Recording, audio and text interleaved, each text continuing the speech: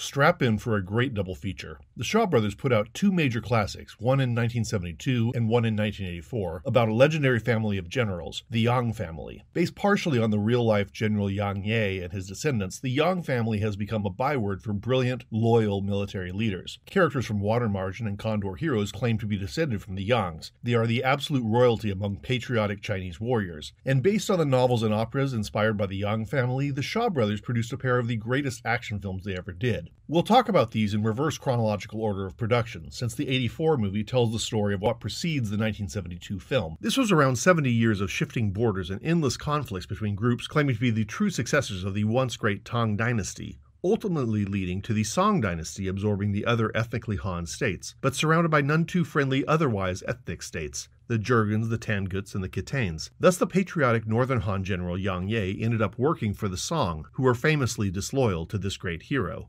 Yang Ye was sent off to battle the Khitanes, but was betrayed by his Song superiors, who sent his army no support in the bloody Battle of Golden Sands. Most of his men, including him and his sons, were killed.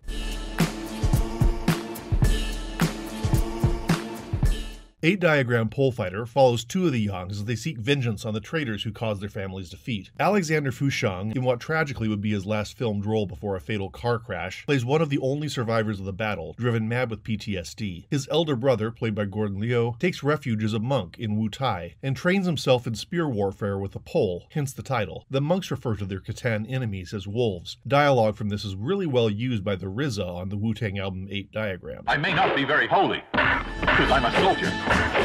I know how to fight, I train hard, and I am not afraid of wolves.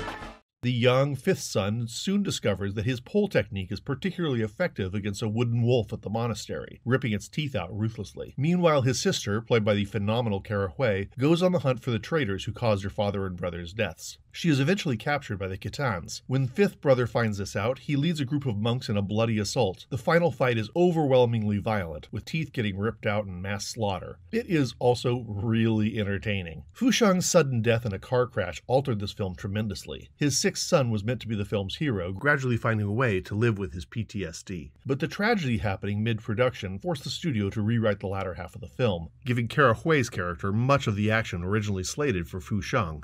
Today, a studio probably would have dumped the entire project out of respect, but this was the 80s and the show went on. I wish I didn't need to address all this since it casts a pall over what's otherwise a really fun kung fu romp. Obviously, Gordon Liu is amazing in this. A reviewer I read once said that Liu's use of weapons is organic.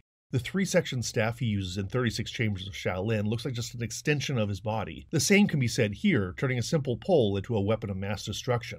Maybe the standout scene. Fifth brother, who has never earned the trust of his Wu Tai masters, faces off with one in the temple as he's about to escape. He not only defeats his superior monk, he actually draws the bagua, the eight diagrams on the temple floor during combat, using his pole and some pillows and candles. It is genius.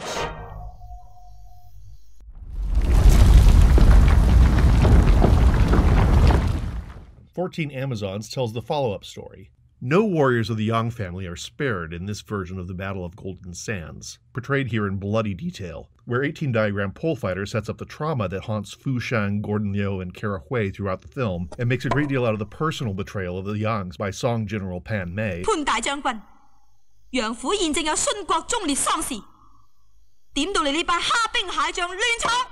In 14 Amazons, the reaction to the men's deaths is resolute and stoic. The only male left in the Yang family is a preteen boy, played in unconvincing drag by beauty queen Lily Ho. Lu Yan is commanding as the matriarch, Shi Tai Chun, but commanding was pretty much her MO. She followed this up a couple years later by playing the Empress Dowager Cixi and kept on trucking into the 2010s, appearing in Ang Lee's controversial Lust Caution, the Joy Luck Club, and the massive hit Crazy Rich Asians. The family's toughest warrior is Mu Kuei Ying, played by professional butt kicker Ivy Ling Po. Mostly famous for her early musicals, Ling Po is fearsome in this and in Duel for Gold, another great and vicious action film. Along for the ride are Lo Lieh as a villainous prince and Yue Hua as the Amazon's inside man.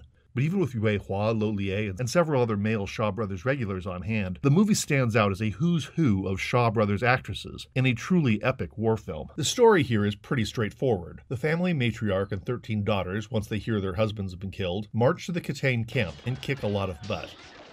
What happens along the way makes this movie a real delight.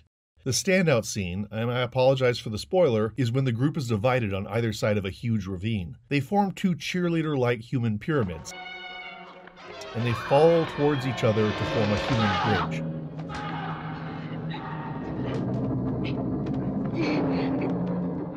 I mean, it's laughable, but it is so awesome. So, if you want a rousing kung fu double feature with a dose of Song Dynasty history tossed in for good measure, you really can't go wrong here. 8 Diagram Pole Fighter and 14 Amazons. A Shaw Brothers Kick Buttathon.